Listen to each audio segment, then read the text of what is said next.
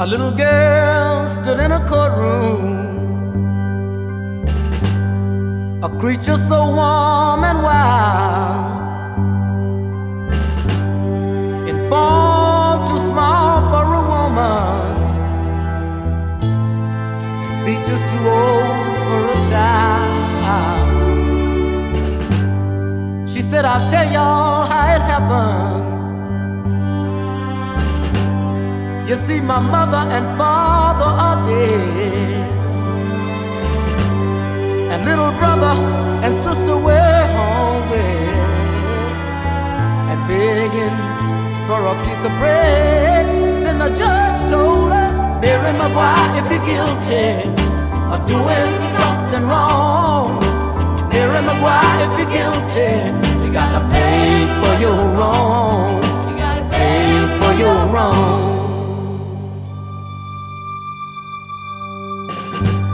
Said nobody would give me a job. The weather was bitter and cold.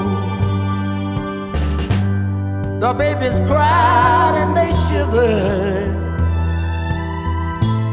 And the youngest one's only two years old. So what was I to do? Guess I'm guilty, but please do not condemn. For was it really stealing that bread I gave to them? Then the judge told her, Mary Maguire, if you're guilty of doing something wrong, Mary Maguire, if you're guilty, you got to pay for your wrong.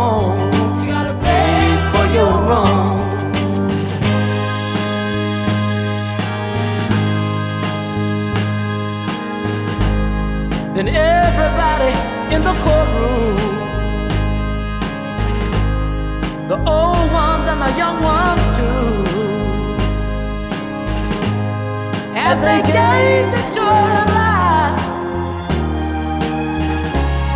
they knew that she was telling the truth.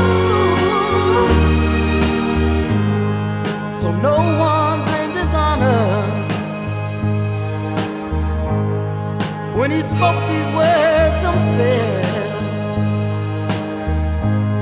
He said, if this little girl is guilty, I'll gladly save my sentence myself. Mary Maguire ain't guilty of stealing from somebody else. Mary Maguire ain't guilty. The judge said so himself. The judge said so himself.